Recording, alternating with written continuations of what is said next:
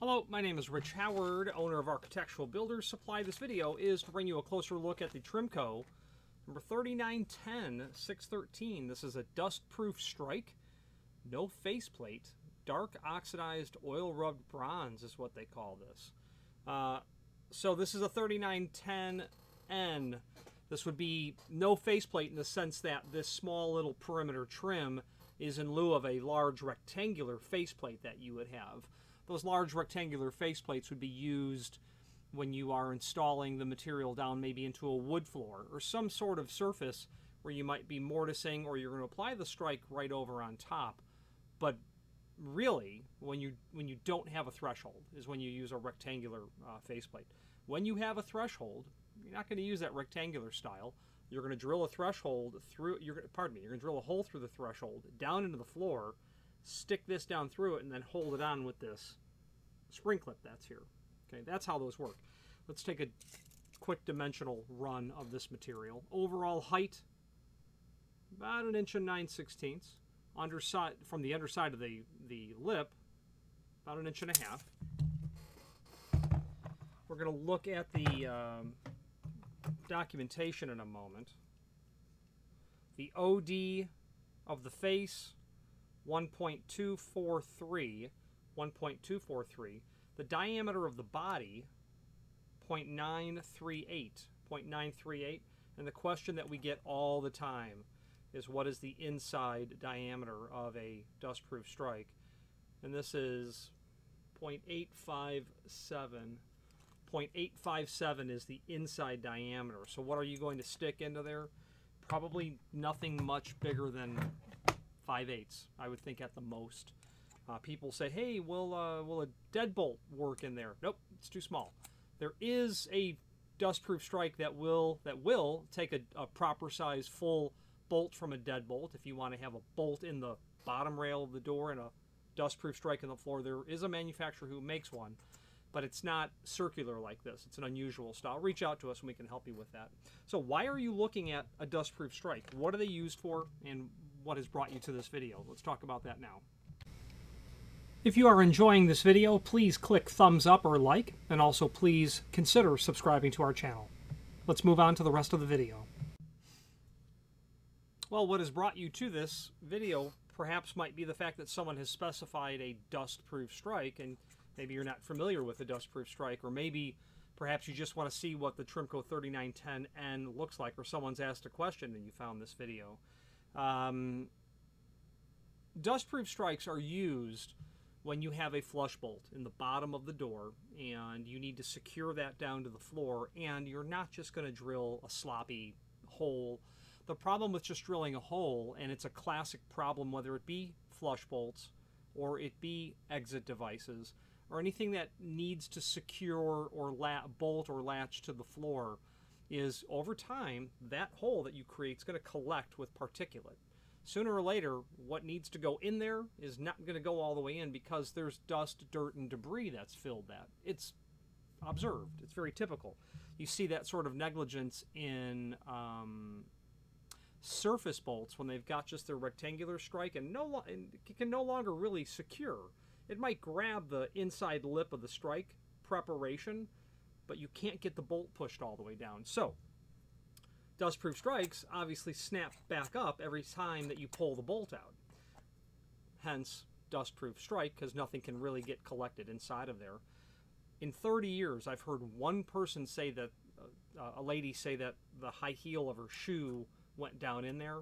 Um, you know, hey, what if a high heel uh, goes into that hole? Okay, sure, that it's very, very. I've heard of it one time.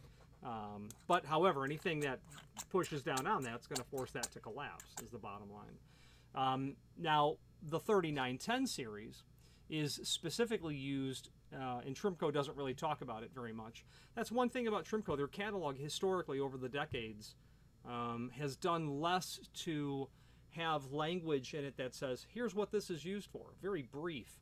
Um, if anyone were to have uh, language that would work to explain the application of, of hardware, it should be Trimco. They've been in Trimco's been a company since probably the mid 20th century, if not well before that. Um, I know that Trimco manufactured a lot of the mid 20th century, the whole uh, modern sort of look, early 60s, the atomic sort of look, escutcheons that went underneath knobs, knob trim. They're rosettes, the spectacular splayed out sort of atomic looking escutcheons, and I have some in my lock collection. I they're beyond reach. But Trimco made a lot of that stuff.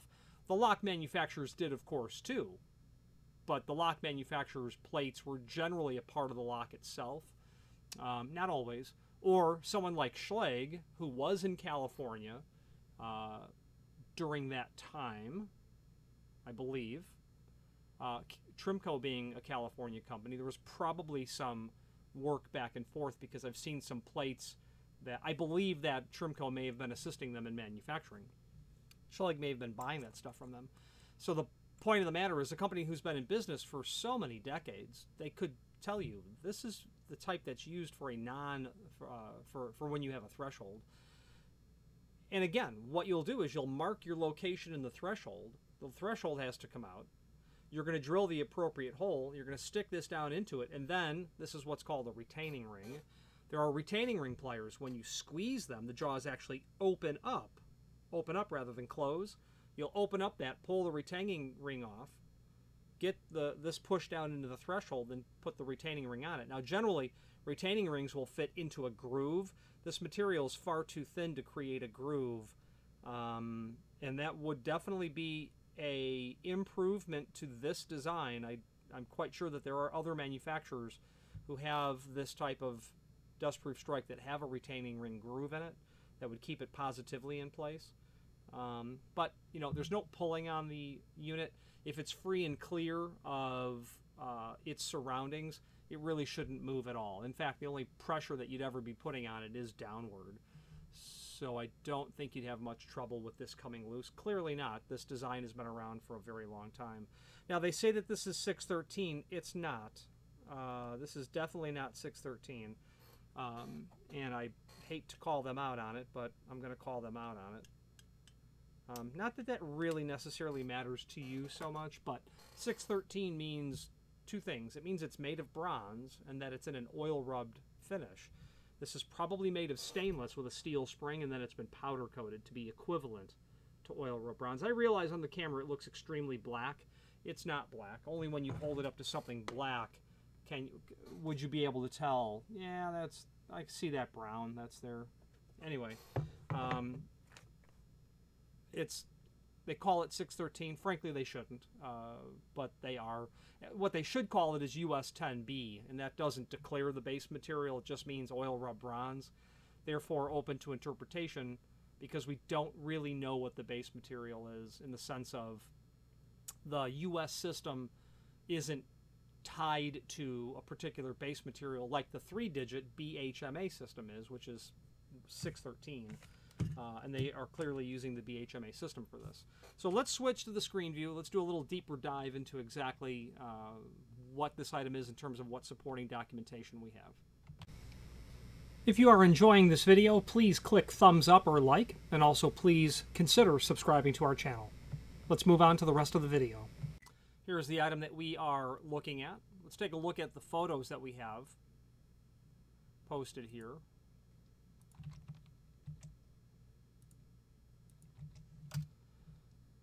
Uh, okay, and here they are.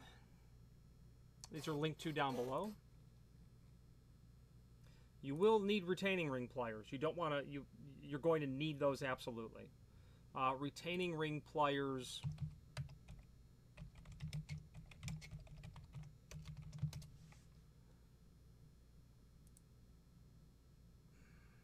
This is absolutely what retaining ring pliers look like. Uh, I, actually, these are the exact ones that I that I the exact ones that I have. It might be by Channellock. Um, I prefer them in certain. Well, you're going to get different tips with these. Uh, looking for a photo that I like more.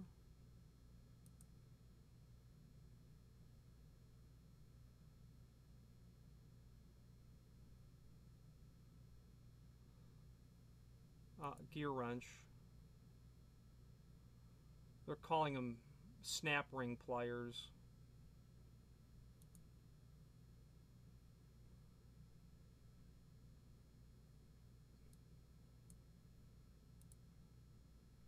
Okay, that's what that looks like. And some models have convertible tips where you can do a 90 degree angle. Um, I don't think that it would be necessary for this, but I find it a little easier to control the retaining ring with two hands when I've got a 90 degree angle. Fixed tip, convertible, removes installs external and internal snap rings. So there you go. That's You're going to need this tool to install this item. Uh, that shows us the face of the unit. That texture you see there is an indication that this is powder coated um, showing the dustproof strike where the top cap is depressed and then the underside, just showing you what it looks like from the underside. Now we have a couple of documents here. They're both called product catalog, not sure why. This is a cut sheet. Uh, you've got the one with the faceplate, you've got the one without the faceplate, the N, and then you have a convertible style. Okay. If you're not sure what you're dealing with, and let's say that you've got a half a dozen or 20 of these to do, you might order the 3911 just because doesn't matter. Whatever, whether or not you have a threshold, um, you can make this one work because the faceplate threads off. Um, generally, you know, Trimco has three options. I generally see two options from other people, but it's nice to have this option if you're going to be doing a job, you're going to specify the proper dustproof strike. It's either with the faceplate or without because you, as the specifier, knows whether or not there's a threshold and knows what the floor condition is. Uh, so that's what you'll be specing. Product catalog again. Okay, that's a template. We're going to get that uh, corrected. And this is going to give us an idea of what we're looking at here. This is a, yeah, apparently they don't have a 3910N template. They don't. Add suffix N to part number for dust proof strike less faceplate. So what I'm gathering here is when they do a faceplate, they're just adding the faceplate to a 3910N. And then that retaining ring is going to hold the faceplate. You know, obviously the design works. Um, there's never been a problem with it, apparently. I don't like the design because you've got that lip sitting on top of a faceplate that could be cleaner. Um, and it's really not indicated at all. Well, as I had said earlier,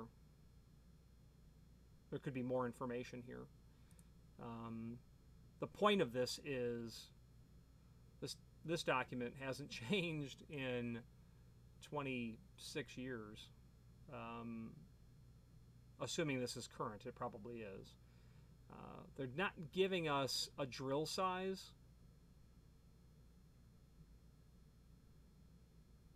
So if you've got 15 16ths here, what are you going to drill? Well, you're probably going to drill the. You're probably going to use the tool that you already own. That's probably one inch.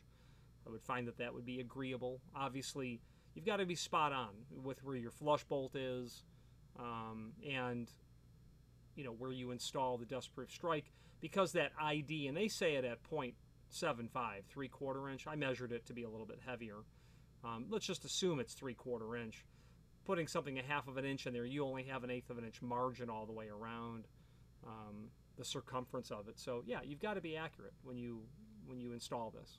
That's the bottom line. An old carpenter's trick is to put lipstick on the end of the bolt and then throw the bolt, which then marks the area that you want to drill. And it's really used on deadbolts to jambs. I suppose you could use that trick here. I suppose you could.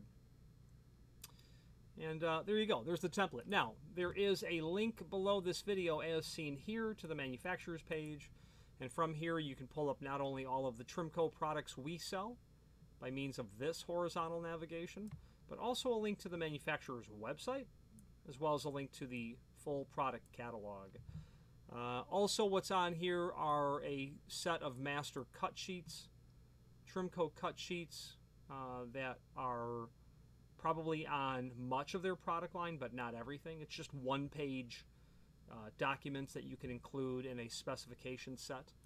Uh, there's also going to be their focal product line here, which are going to be decorative poles and hardware that has been architecturally designed Uh, and also their uh, classic, um, I don't, you know, I was going to say, they, I believe what they call their masterpiece or mastercraft, obviously. And this material's been in their catalog for years, if not decades. Um, really nice classic material. I don't know how much of this they still sell. I know that I had, this is a beautiful, this 1901, that's a beautiful push plate. Um, I know that about two, three years ago, I sold, I had a client who wanted something outstanding for their door. Yeah, it was the Juno. Uh, we did the Juno pole, um, an awful photograph of it here. I probably have a photograph of the Juno. Uh, I actually have a video of it. Yeah, I did the Juno in a 613 equivalent oil rub bronze. So if we were to um, search for my, in the site, if you look up Juno 613E, there's a video here of me reviewing this pole handle.